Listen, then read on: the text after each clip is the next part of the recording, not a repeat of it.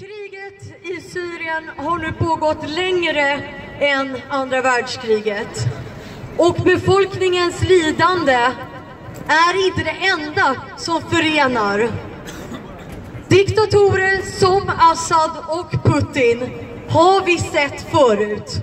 Jag är så trött på att höra svenskar och andra europeer säga att de inte förstår vad som pågår i Syrien, att det är avancerat, att det är nog komplexa utrikespolitiska svängningar. Vi kan det här. Vi europeer har levt under exakt samma förtryck. Vi har levt under exakt samma diktatorer. Vi vet vad de gör och vi vet vad de vill. Vi vet hur de behandlar befolkningen. Det finns inte längre några frågetecken kring Syrien. Det finns inte någonting vi ska vänta på. Det sker här och nu och det har skett tillräckligt länge redan nu som det är. Det är bara att lyssna på etablerade organisationer.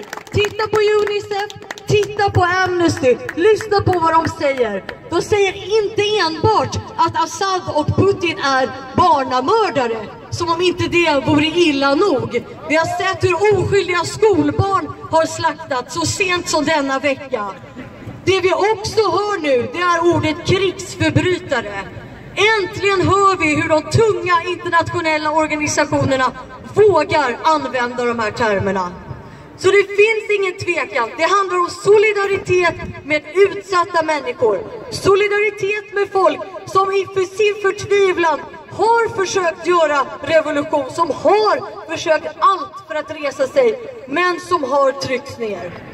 Det är också en fullständig chimär att tro att det vi gör här inte spelar någon roll. Det gör det. Det här är år 2016.